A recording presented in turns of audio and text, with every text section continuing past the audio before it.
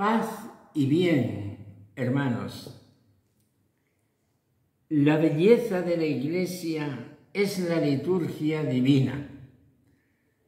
He aquí una sencilla rima espiritual que les quiero compartir lleno de gozo en este día bellísimo de la solemnidad de los apóstoles San Pedro y San Pablo.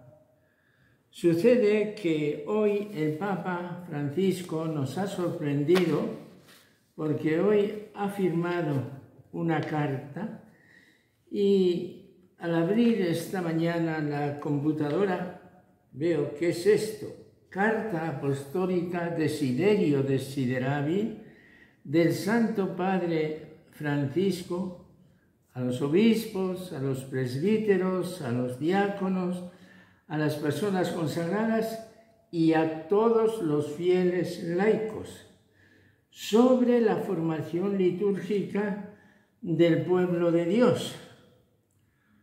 A mi modo de ver, esta es una de las cosas más bellas que ha escrito el Papa. Una verdad que le ha salido del corazón y en una circunstancia de porque sí, porque él lo llevaba y lo quería compartir. Aquí en esta carta, inmediatamente la he impreso, son 20 páginas de este estilo que ya cualquiera de estos días aparecerá en las librerías religiosas.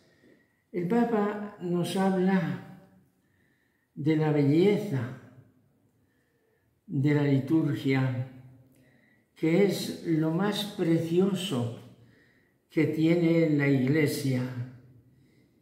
Y es muy interesante que estas cosas las diga, porque las siente, porque las vive, un papa que es alabado por su afán de iglesia en salida, de renovación, de sinodalidad. Al final, ¿qué es lo más precioso que tiene la iglesia? Esto. Estoy aquí apoyándome en un altarcito de una capilla conventual presidida por la imagen de Jesús, no puede faltar la imagen de María, en este caso la Virgen de Guadalupe. Lo más bello, lo más precioso que tiene la Iglesia, lo que debemos gustar es la Sagrada Liturgia. La liturgia de la Eucaristía y la liturgia de los sacramentos. Toda la vida cristiana está compenetrada de la liturgia. Ha sido grande y sincera mi alegría al recibir esta carta y reflexionando sobre ella, me han venido unos versos sencillos al corazón que quiero compartir y que sean un estímulo para ir directamente a la lectura, a la contemplación, al estudio de esta carta. Ojalá que nuestras parroquias los sacerdotes y los fieles la reflexionaran. Ojalá que esta carta fuese un aperitivo espiritual exquisito para que cuando celebramos la Eucaristía, con sus cánticos, con sus silencios, con sus símbolos, respetando la normativa existente, que nosotros no vamos a inventar una mejor, disfrutemos en el corazón y sintamos que la liturgia es ya la entrada en el paraíso. Estos son los sentimientos que brotan en mí y que les comparto en esta sencilla rima. La belleza de la iglesia es la liturgia divina, belleza que es la antesala de la visión beatífica, belleza de una presencia de quien se fue y no se iba. Celebrar es convivir, Jesús, en su compañía. La creación toda entera, la historia que la tejía, el tiempo que ya no es tiempo, Él a mis ojos surgía. Tomad mi cuerpo y comedme y haceos sustancia mía. Tomad el vino y bebedme, que es mi sangre que destila.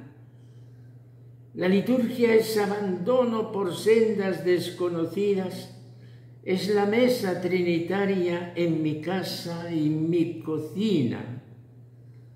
Y es la mesa universal que cielo y tierra vecina, todos los hijos de Dios con el Hijo de María.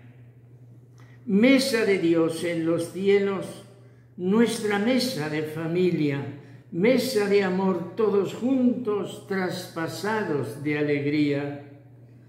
La liturgia es luz del cielo en la tierra amanecida, la claridad de la gloria en nosotros esparcida con símbolos y palabras, con silencios de la tría, con cánticos de alabanza, con el cuerpo al alma unida,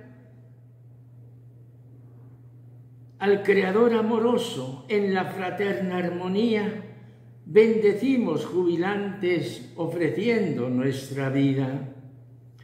Peregrinos que avanzamos, la liturgia es nuestra cima, es la esperanza a la mano, el gozo de su venida. Acoge nuestras tareas de la cuna a la partida. Todo fue santificado por Jesús que todo cuida. La liturgia es comunión que nos sella y pacifica, triunfo de Dios en mi ruta, corona en su sien ceñida. La liturgia es mi tesoro, mi festín de cada día, es Jesús resucitado, viviente en su iglesia viva.